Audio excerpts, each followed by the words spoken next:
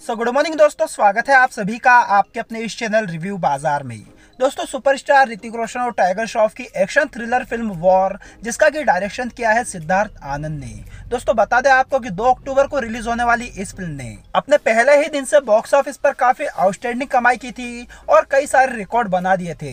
जिस दिन दोस्तों इस फ़िल्म का ट्रेलर आया था, उस दिन से ही इस फ़िल्म को लेकर इंडियन ऑडियंस के बीच में क्रेज देखने को मिला था। वही दोस्तों, आपको बता दें कि इस फ़िल्म ने अपने पहले ही दिन इंडियन बॉक्स ऑफ़िस पर तिरपन करोड़ पैंतीस लाख रुपए की कमाई करके सारे रिकॉर्डों को चकना कर दिया था और इंडियन हिस्ट्री की या यूँ कहे तो बॉलीवुड हिस्ट्री की सबसे बड़ी ओपनर फ़िल्म साबित हो चुकी थी। बताया दोस्तों आपको कि सुपरस्टार ऋतिक रोशन और टाइगर श्रॉफ के बीच में हुए फाइटिंग सीन्स को देखने के बाद ऑडियंस ने जो तालियाँ बजाई थी उसी कारण से दोस्तों, ये फ़िल्म आज अपने दूसरे हफ़्ते में भी बॉक्स ऑफ़िस पर काफ़ी शानदार कमाई कर रही है।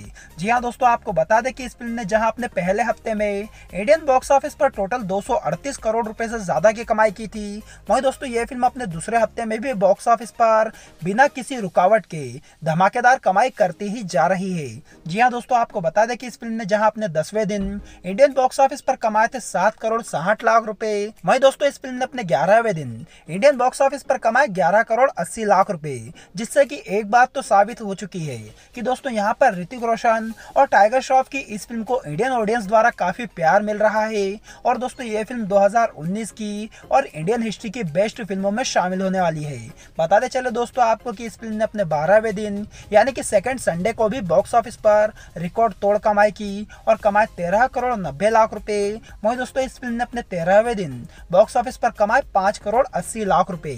इसी के साथ दोस्तों, इस फ़िल्म का जो टोटल कलेक्शन था, वो इंडियन नेट बॉक्स ऑफ़िस पर लगभग पाँच करोड़ रुपए का हो चुका था। और यह फ़िल्म सुपरस्टार शाहिद कपूर की फ़िल्म कबीर सिंह के टोटल कलेक्शन की बराबरी कर चुकी थी। अब बात की जाए दोस्तों, इस फ़िल्म के आज यानी कि चौदहवें दिन के बॉक्स ऑफ़िस कलेक्शन की तो दोस्तों, आपको बताते चले कि इस फ़िल्म को आज भी बॉक्स ऑफ़िस पर मॉर्निंग में 12 से 15 परसेंट की ऑक्यूपेंसी हासिल हुई है। वही दोस्तों इवनिंग में इस फ़िल्म की जो ऑक्यूपेंसी है, वो भी काफ़ी शानदार दिखा रही है। जिस कारण से दोस्तों यह फ़िल्म आज अपने चौदहवें दिन बॉक्स ऑफ़िस पर लगभग पाँच करोड़ की कमाई कर सकती है। इसी के साथ इस फ़िल्म का जो टोटल कलेक्शन है, वो ऑल ओवर इंडिया से हो चुका होगा लगभग दो करोड़ रुपए का।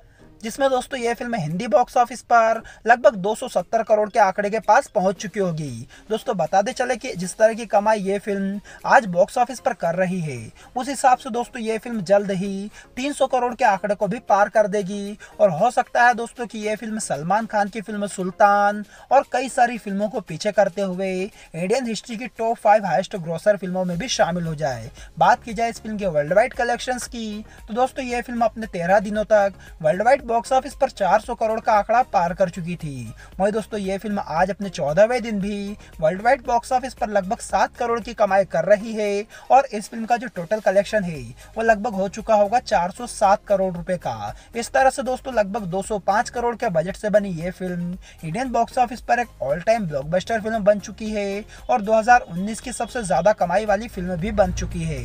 तो दोस्तों, आपको सुपरस्टार ऋतिक रोशन और टाइगर श्रॉफ के बीच हुई फाइटिंग सीन्स में सबसे अच्छा सीन कौन सा लगा? आप हमें अपनी राय कमेंट करके ज़रूर बताइएगा। और हमारे इस चैनल रिव्यू बाज़ार को सब्सक्राइब करना बिल्कुल ना भूलिएगा, क्योंकि दोस्तों, हम यहाँ पर लाते हैं बॉक्स ऑफ़िस की सबसे लेटेस्ट अपडेट और सबसे सही कलेक्शन धन्यवाद, जय हिंद, जय